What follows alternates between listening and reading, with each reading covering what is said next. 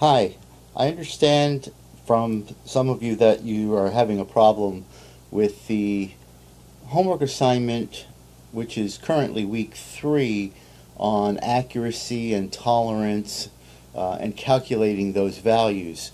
So I thought I'd do this quick little lecture on some of the terms and some just some examples of how to do uh, some of these problems. I'm going to be using a technology that um, I'm just learning also, so uh, you can bear with me a little bit. uh, anyway, let's look at the two terms of range and span.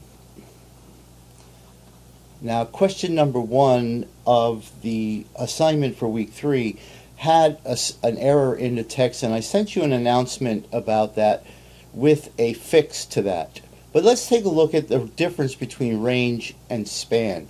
First of all, range is specified using two, two values.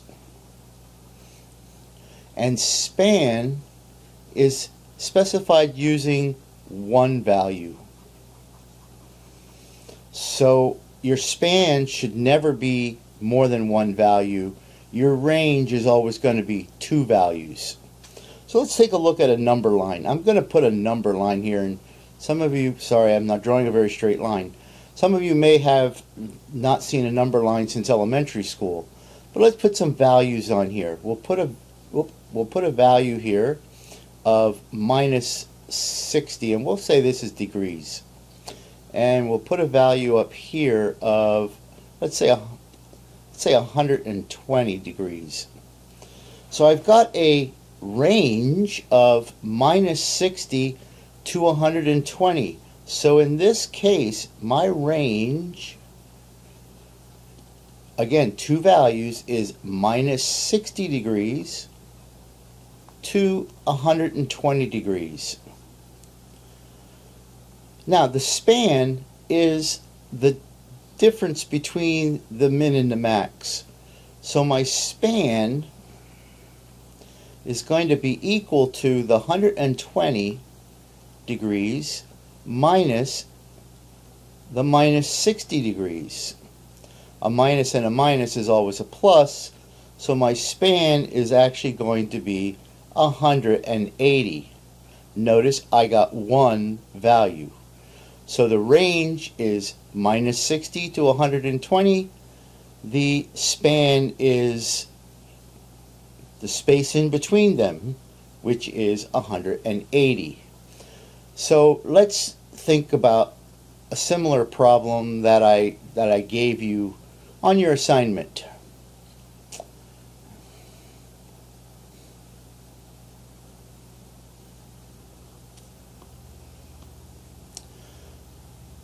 I gave you, let me, let's do this. I have a, a line here, and let's say I have that minus 60 degrees to 120 degrees.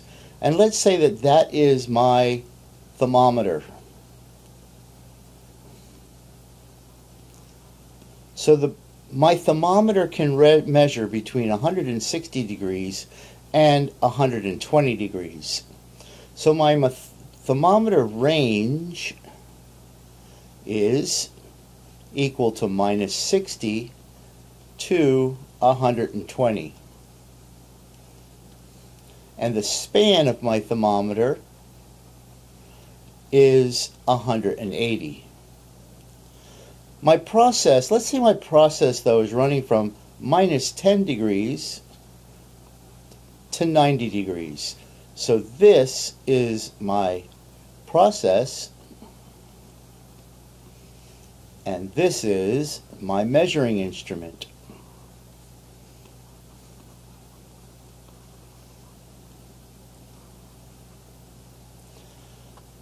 The range of my process is then going to be minus 10 degrees to 90 degrees. And the span of my process is going to be the 90 minus the minus 10 which is equal to 100. So the span is a 100 degrees. I hope that makes sense because um, it's a very simple concept. Okay, and I'll see you in the next video.